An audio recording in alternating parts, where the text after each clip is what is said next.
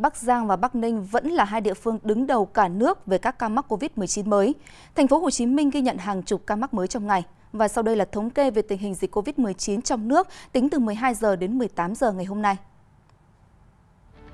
Tính từ 12 giờ đến 18 giờ ngày 27 tháng 5, Việt Nam ghi nhận thêm 152 ca mắc COVID-19 mới, trong đó có 2 ca đã được cách ly ngay sau khi nhập cảnh và 150 ca ghi nhận trong nước, bao gồm 84 ca tại Bắc Giang, 22 ca tại Bắc Ninh, 7 ca tại Hà Nội, 1 ca tại Đà Nẵng và 36 ca tại thành phố Hồ Chí Minh, nâng tổng số ca mắc COVID-19 tại Việt Nam lên 6.316 ca.